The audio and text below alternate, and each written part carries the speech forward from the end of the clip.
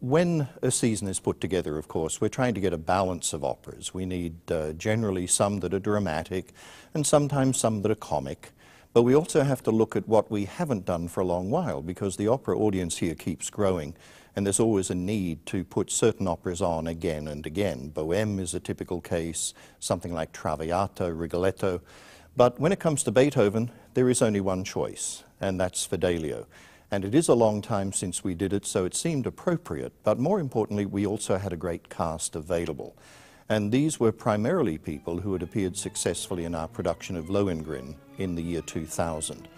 And I knew with that group it would be a very fine production indeed. So with their availabilities, with the need to do it again, and also with the awareness that freedom and liberty are really a subject on everybody's minds, uh, it seems very appropriate to have Fidelio at this point.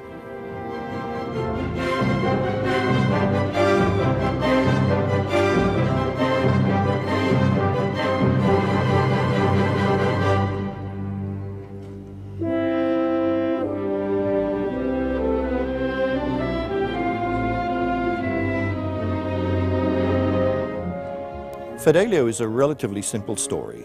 There's a prisoner named Florestan who has been jailed illegally, and his wife Leonora disguises herself as a man, Fidelio, to go looking for him in the prison, which is very courageous indeed. But of course, disguised as a man, and a very attractive man, she draws the attention of Marcellina, who is the daughter of Rocco. Marcellina is falling in love with Leonora not realizing that it is a woman because she believes Fidelio is a man. And of course this upsets Jaquino, who is the person who really wants Marcellina, but Rocco, the father of Marcellina, is happy about the idea of a match between the two of them because he can see the remarkable qualities that Fidelio has. And those qualities are in fact this, this great love that Fidelio has for her husband, whom she believes is in the jail. So she's searching for him, and there's an evil villain named Pizarro who is determined to kill him, and she intervenes. She actually saves the life of her husband when Pizarro is trying to kill him, and virtue does triumph at the end of this opera, which doesn't happen in a lot of operas. And the two are united again, and freedom reigns. So what we say in our commercials, I think, is true. Let freedom sing, because that's what happens in Beethoven's Fidelio. Der Sieg ist mein, der Sieg ist mein. Stay here. Enjoy your triumph. The triumph is there. There's the goddess of triumph holding. I will win. Hop, and Then go very far. Ah, I hear you. You have good shoes. I mean, you have boots, yes? When San Diego Opera last presented Fidelio, we did an updated version, and this time I was determined to do it in a very traditional style. And I had seen Michael Hampe's production in San Francisco when it premiered there some years ago.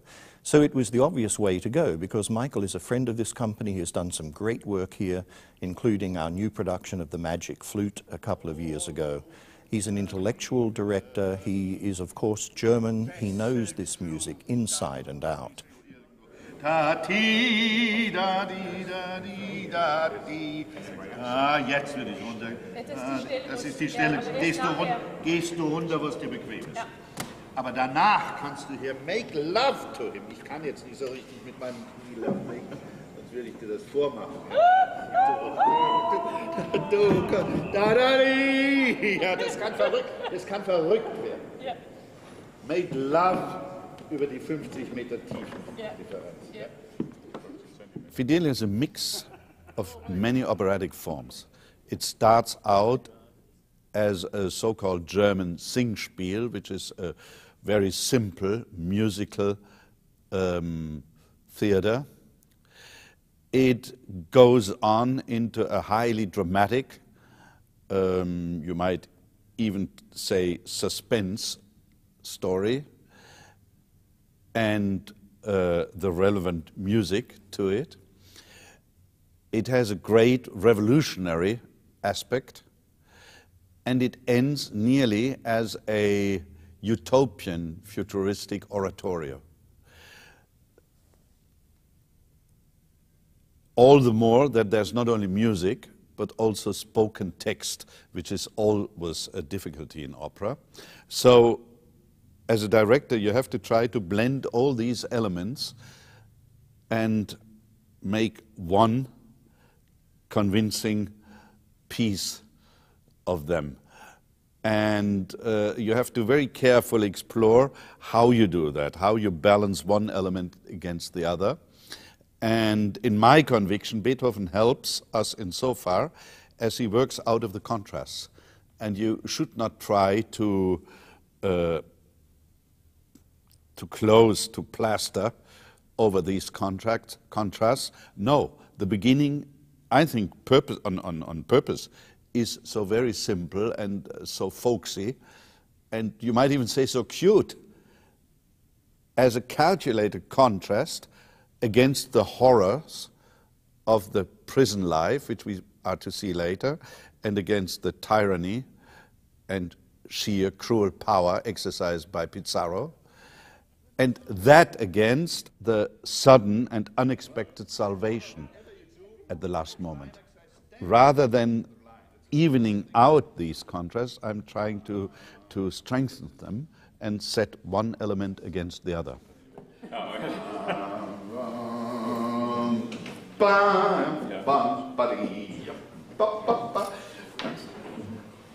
can walk to the climax, but not on the climax. All right. The climax is the peak of Mount Everest. Yeah. So further you cannot go, or you ruin the peak. Yeah. You tumble. So I put great emphasis on the situations, on the characters. Usually, people don't show their emotions, they try to hide them. And only a great pain or a sudden shock or whatever other event makes them show their emotions. A wonderful key example is Leonore in Fidelio. She's in a situation where she has only to hide, to hide the fact that she's a woman, to hide her true intentions, freeing her husband, uh, not to show any feelings, and if so, fake feelings, that she is pleased that Rocco takes her as a man and promises her him, his daughter. Uh, so the whole role practically to the last climactic moment when she shows herself as Florestan Florestan's wife, to this very moment she has to hide. Especially she must take great care not to take, not to show feelings.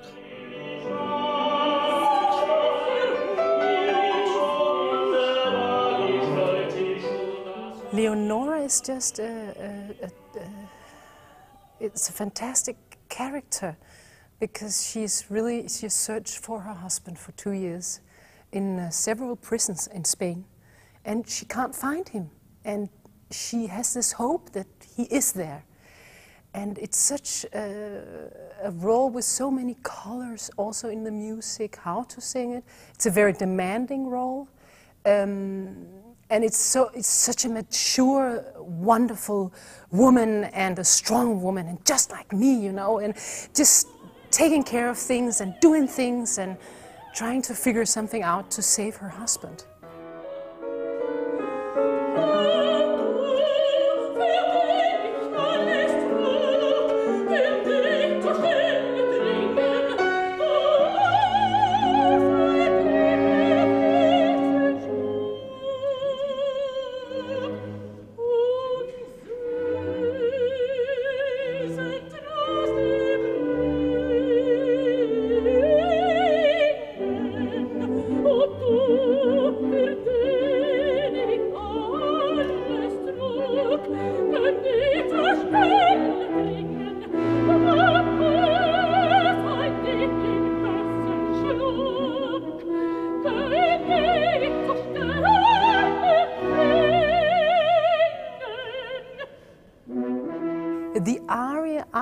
Is one of the greatest aria ever written for a soprano voice, uh, after, for my, after my opinion. And uh, it's very demanding, but it has so many layers of emotion in it. First, this anger against uh, the violent person Pizarro.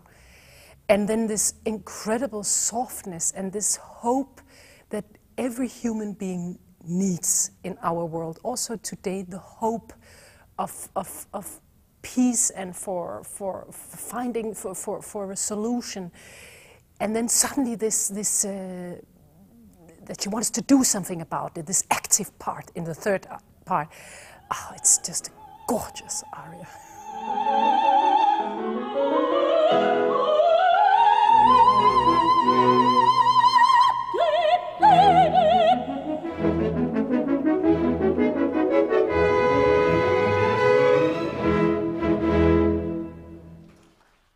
And then at the final uh, scene, when the chorus is entering and Leonora starts to sing, Oh Gott, welch ein Augenblick. And there is a short ensemble where the chorus is singing and all the soloists. It's just like standing still and thanking God for, for his help and that this thing actually has come to a peaceful end that's one of the moments where I mean, or, or, when I start talking about it now, I feel the goose is goose hair. How do you say that in English? it just starts, my, my hair goes up because it's such a fantastic moment, a religious moment.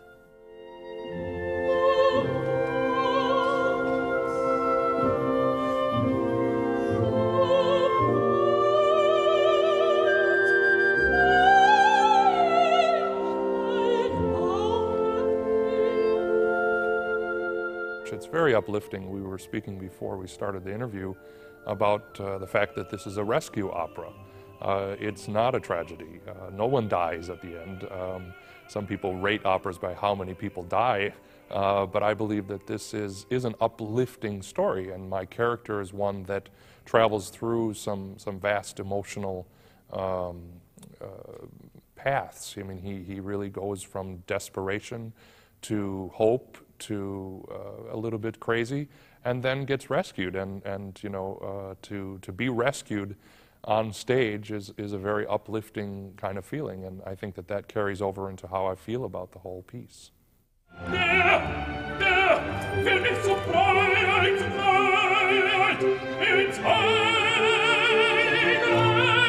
Freiheit, zu Freiheit,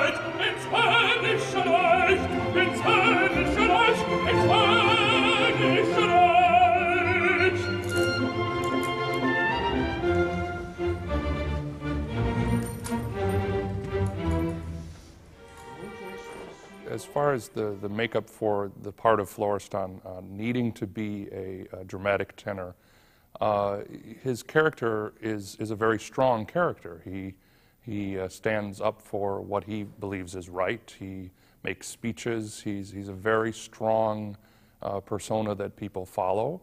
Um, and while he has been in prison for two years uh, as a political prisoner, uh, he still has that strength in him. And I think that the dramatic end of, of the tenor repertoire, and especially the, the strong voice for this part, is needed to show that power that he, that he possesses. And if it were to be a very lyric tenor, they could certainly sing it. They could sing all the notes, um, get through the part, maybe even easier than, than a dramatic tenor could, uh, simply because uh, the notes would not be as difficult uh, of a stretch for a lyric tenor. Uh, however, I think that power would be missing a little bit, so I think that's why, why it's needed, uh, why a dramatic tenor is needed for Florestan.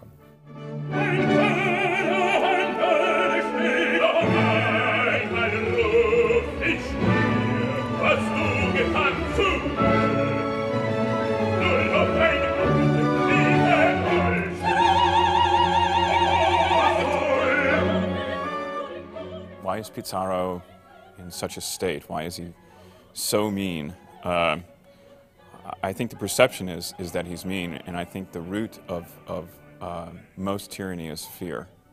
And he's fearful of being caught with Florestan, um, and he says so uh, in the opera. And I think once you start building uh, or using fear to rule, then you in turn uh, become fearful. And I think that's, that's it's all, uh, most aberrant behavior is fear based, I believe.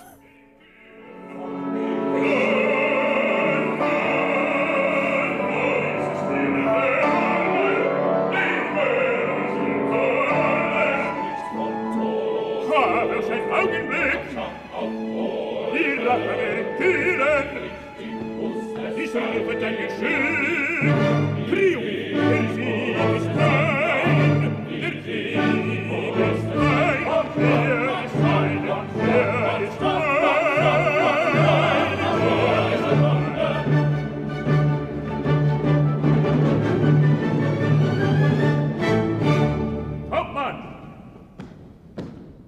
Difference, I think, with, with this role and other roles is that there's not much room given to any sort of lyricism. Uh, and as a singer, you're always fighting to, to put as much of it in your singing as possible. And especially with Pizarro, there's a, there's a real angular um, feeling in the music, which for a lot of singers I know is uncomfortable. And, and if you're going to do this role, you have to embrace it and um, almost use your voice instrumentally uh, in, in many respects. Um, uh, as opposed to something like Flying Dutchman, where you have these huge, beautiful lines to sing.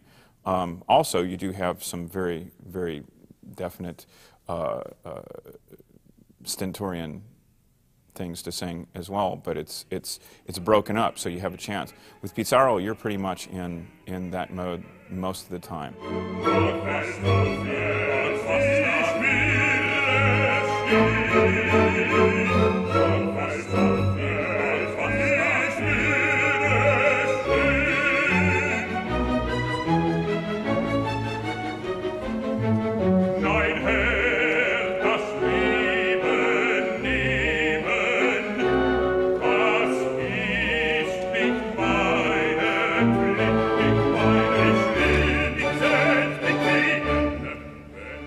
Rocco is a character who um, is probably the, the only person in the opera who changes a lot. He is quite fixed in some um, position and he cannot act very much. He just has to react and basically to do what Pizarro tells him. So that's his job since years. And I think he is a man who um, usually needs help from somebody else, in this case, probably from Fidelio, who encouraged him to, to stand against Pizarro at the end. He, he, starts this already in this duet uh, in the first act where uh, he was asked to kill uh, Florestan, and he says, No, I cannot, I don't do that. No, for sure not. He got money for that, and he wanted to return the money. He said, No, I don't take money, I don't want to do that? I really not.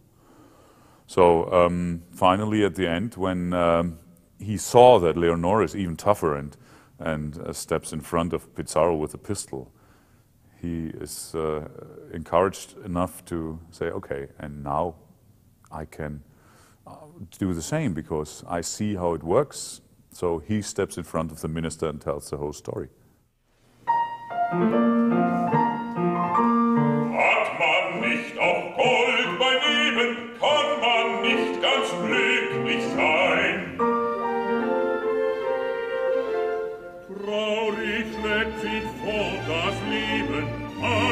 Kummer stellt sich ein, mancher Kummer stellt sich ein.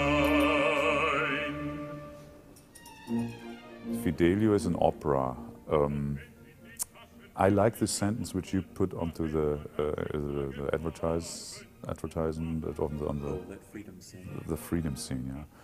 Yeah, uh, you can sing, you can express freedom with, with singing. This is the typical I think um, the story is uh, quite basic, but it's not, I would say you couldn't find that everywhere. That a woman goes into a dungeon uh, dressed as a man and tries to find her husband um, working for the dungeon master. That's a tough thing, I think, and that I like very much. So I think that's a good reason to go to this opera because it's a basic story um, and you can understand very easily, very well. So that's the reason why you should go there. The music, of course, Beethoven. I'm a big fan of Beethoven. I, I love to sing Beethoven. I love to hear the music of Beethoven. Square six, square six,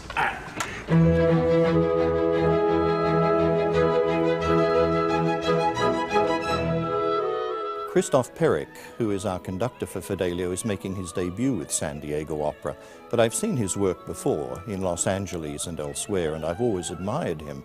But with only five productions a year, we can never introduce new conductors very often. This was the perfect opportunity for Christoph.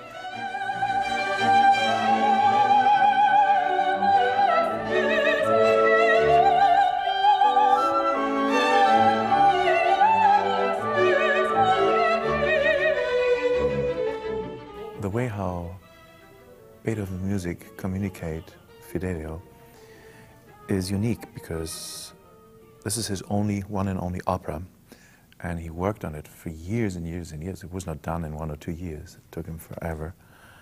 And it's a wonderful dramatic score which has incredible uh, writing for the singers, for the different roles of that piece. And it has also incredible writing for the orchestra, for the chorus. And as we all know, Beethoven is in first place the composer of nine famous symphonies and five even more famous piano concertos.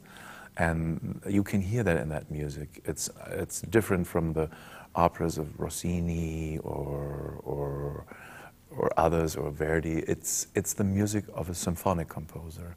And that's, I think, is the special thing with Beethoven's one and only opera and his Fidelio score.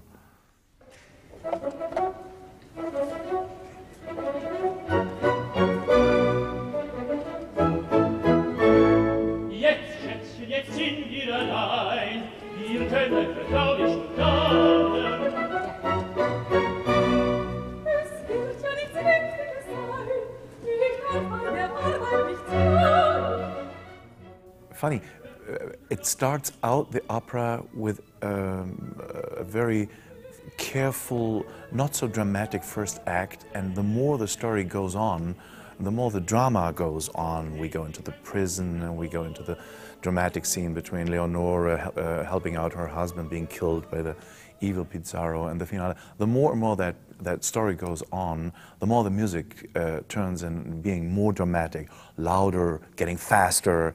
And uh, so I think the music tells us a lot. And also, um, we are playing one of the famous four Leonora, Leonora overtures to that piece, where the whole story itself is told in musical terms. Okay, from the beginning.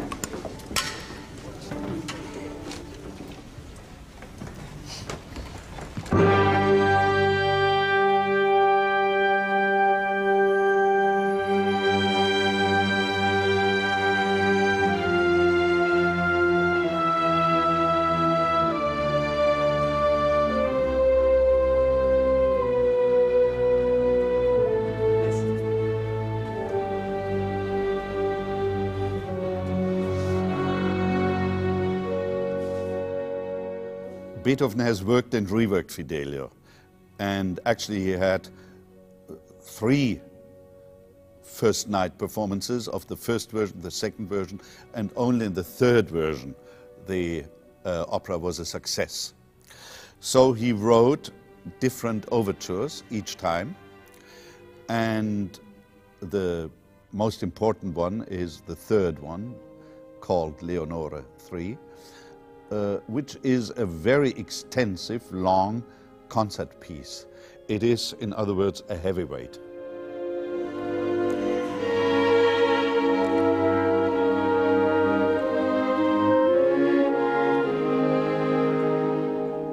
Beethoven's place, and especially the place of Fidelio and the history of opera, is a very important one. When, when he wrote Fidelio, and I, I mentioned that he, it took him a lot of years to write that piece, uh, it's barely uh, 30 years after Mozart did Don Giovanni's and Magic Flutes, and it is not more than just 25 years before a certain guy named Richard Wagner started to write Flying Dutchman. And this is the special situation of Fidelio in between the Viennese classic of Mozart and the upcoming romantic, which is Richard Wagner. And Fidelio is, of course, has a little bit of everything. Beethoven's score is still a real, pure Viennese classic music. But there are lots of moments, more and more and more in the run of that opera, which go into the drama, into the romantic sphere of opera, which we, after Richard Wagner, have then forever with all the Wagner operas. And, and so, so Beethoven's Fidelio is really at a, at a very special point in between these two history parts of opera.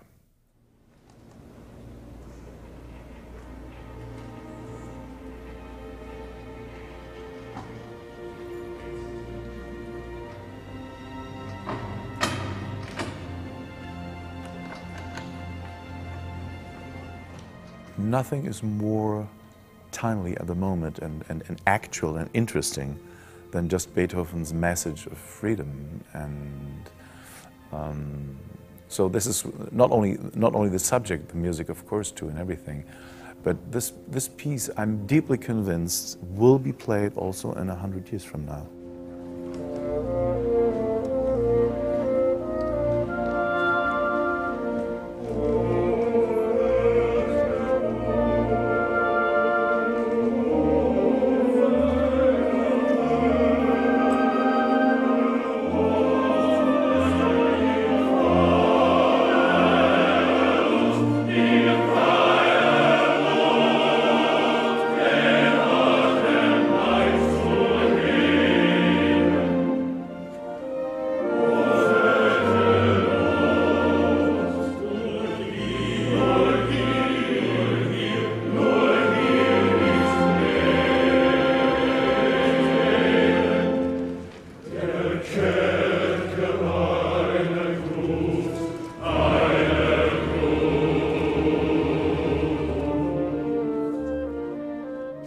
This is such a lovely production. It has been made in the right time. It's not modern in that sense. And it's just such a gorgeous opera. So I really think everybody should come and see that. And of course, we are wonderful. We are fantastic. what shall I say?